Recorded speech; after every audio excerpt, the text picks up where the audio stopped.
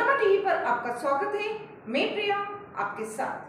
ISIS के एक आतंकी को राष्ट्रीय जाँच एजेंसी ने गुरुवार को तमिलनाडु से अरेस्ट किया। एनआईए प्रवक्ता ने बताया कि ये केरल में धर्मस्थल और कुछ समुदायों के नेताओं पर हमले की प्लानिंग कर रहा था। एनआईए से इनपुट मिलने के बाद केरल में राज्य की पुलिस ने चार जगह छापामारी भी की। एनआईए प्रवक्ता ने कहा कि आईएसआईएस मॉड्यूल का भंडाफोड़ करने के लिए त्रिशूर में तीन और पलक्कड़ में एक जगह छापा मारा गया। मॉड्यूल के लोग टोही मिशन चला रहे थे और आतंकवादी हमलों की साजिश रच रहे थे। इससे पहले मंगलवार को भी एनआईए ने एक आरोपी आशिफ को ट्रैक किया और तमिलनाडु के सत्यमंगलम के पास उसके ठिकाने से गिरफ़्तार कर लिया। अगले दिन 19 जुलाई को आशिफ के साथ साथ सैयद नबील अहमद त्रिशूर के शियास टीएस और पलक्कड़ के रईस के घरों की तलाशी ली। यहाँ से डिजिटल डिवाइस और आपत्तिजनक दस्तावेज़ जब्त किए गए।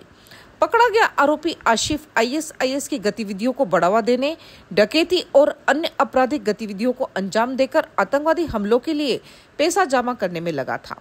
एनआईए ने बताया कि ये केरल में कुछ समुदायों में पूजा स्थलों, नेताओं और कुछ प्रमुख स्थानों की रेकी कर चुके थे। इनका उद्देश्य राज्य में आतंक फैलाना और सांप्रदायिक टकराव पैदा करना था।